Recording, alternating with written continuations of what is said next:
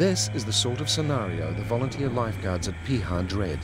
A desperate search for two missing fishermen in fading light conditions.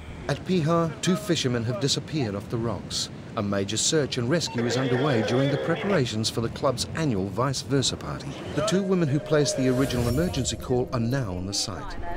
And then they would like this, and the waves were just like abs just coming over, just caving in on top of them. It has now been 12 minutes since the call came in, and there are only 20 minutes of daylight left.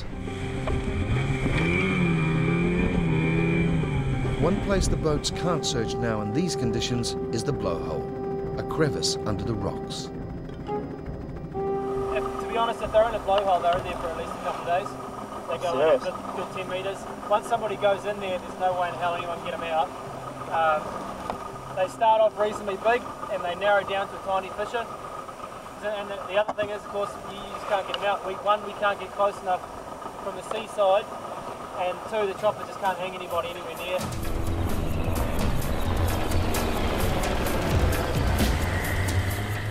Greg decides to drive through the keyhole, a narrow channel through Camel Rock, the only possible escape route for the fishermen. This is the sort of scenario the volunteer lifeguards at Piha dread.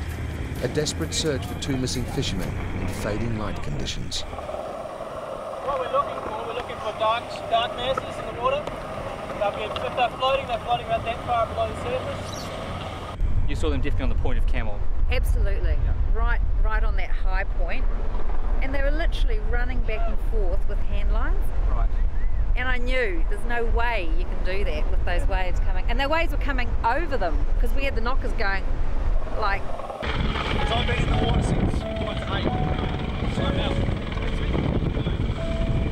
Bruce decides to regroup the lifeguards and start a grid search heading south, the most likely way the current may have carried the fishermen.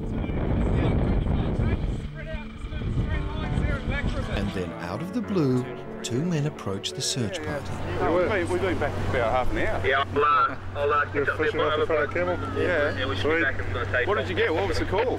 Oh, there you got. Yeah, Roger, You may have been swept off the rock. They saw one of you. Well, whoever, whoever called, mate, got it wrong. It would have been nice getting it right, Yeah, very interesting. Okay, Oh. copy that. Uh, We heard the famous people are looking at. No comment. yeah. And we only got one fish too. It's pretty disappointing. Nah, that's good. That's just one of those one of those situations that, that turned out all good instead of all bad. If they've been out there, there've been two bodies. Yeah, yeah, I did actually have my dress and all my gears on actually. Yeah. Um, it was quite a quick change. I'm quite lucky I didn't put my makeup on because that would have been the case of my mascara running and that, that wouldn't have been a good sight.